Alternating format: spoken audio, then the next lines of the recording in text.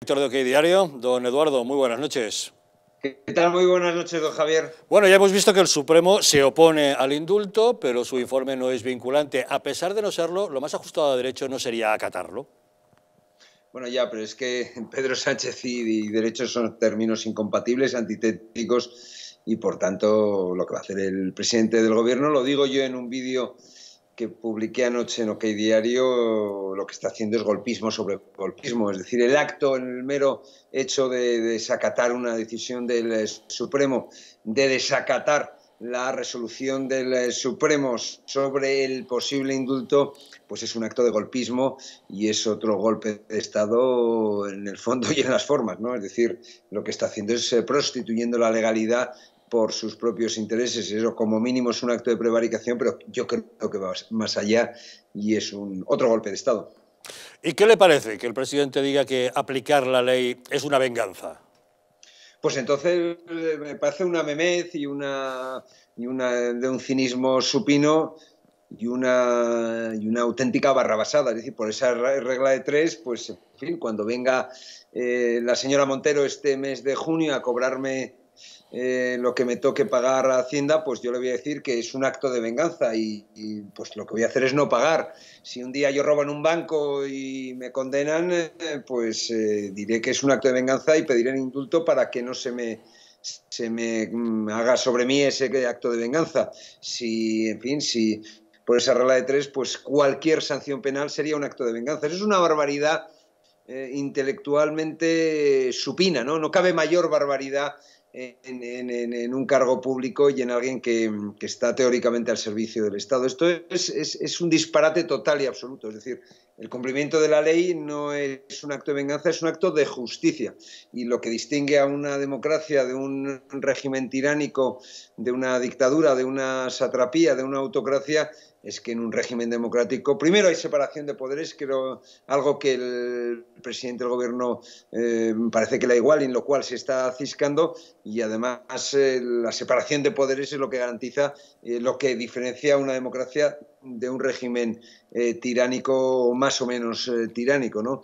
Por tanto, intelectualmente mm, es, en fin, matrícula cum laude, como tuvo esa, ese doctorado que robó en el, ahora presidente del gobierno. Además, con estas afirmaciones, el presidente del gobierno lo único que hace es seguir la misma línea argumental que el propio Oriol Junqueras, ¿no? Sí, anoche en que lo destacamos, es decir, el señor Junqueras durante el proceso judicial lo que dijo es que eso era un acto de venganza del Estado y de revancha. Y lo que utiliza, los términos que utiliza el presidente del gobierno, los que utilizó en el día de ayer, son exactamente los mismos que los que empleó Oriol Junqueras, el delincuente Junqueras, el golpista Junqueras, ¿no?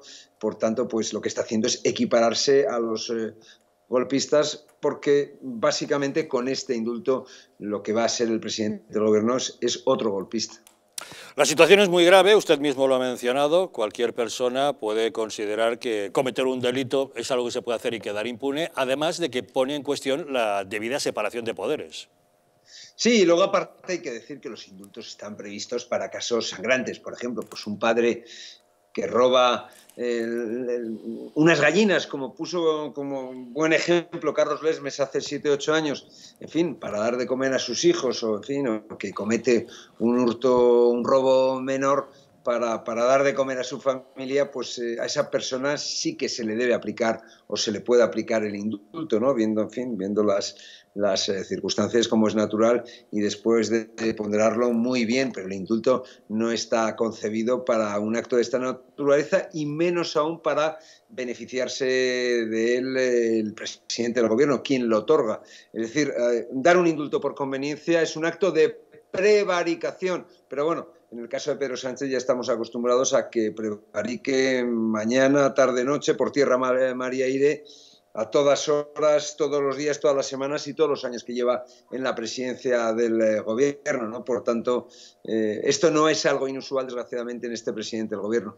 Es decir, que a pesar del escándalo que pueda suponer concederlo, usted está convencido de que finalmente Sánchez va a aplicar la medida de gracia, ¿no? Bueno, no tenga ninguna duda. Nosotros lo adelantamos hace ya varias semanas porque teníamos el, el creo de lo que él quería hacer y lo que iba a pasar. Y evidentemente, vamos, esto, esto es un proceso al cual nos están llevando y ahora pues lo quiere revestir en fin, de, plan de pacificación, como si fuera, eh, en fin, como si fuera Mahatma Gandhi, en fin, una cosa eh, tremenda, como si fuera Václav Havel, ¿no? O sea, una cosa terrorífica, ¿no?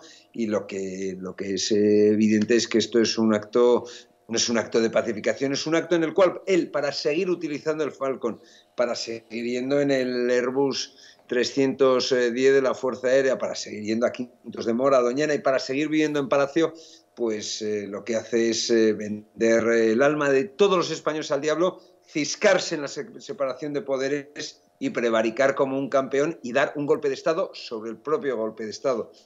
Y eso es eh, terror. Eso para mí es delictivo. O sea, lo, que está haciendo el presidente del gobierno es delictivo, es un acto de prevaricación, como mínimo. Y filosóficamente es un acto, es un golpe de Estado. Don Eduardo Inda, director de OK Diario, muchas gracias como siempre por acompañarnos en Los Intocables. Gracias a usted, don Javier. Muy buenas noches. Muy buenas noches. Un saludo. Don Fernando.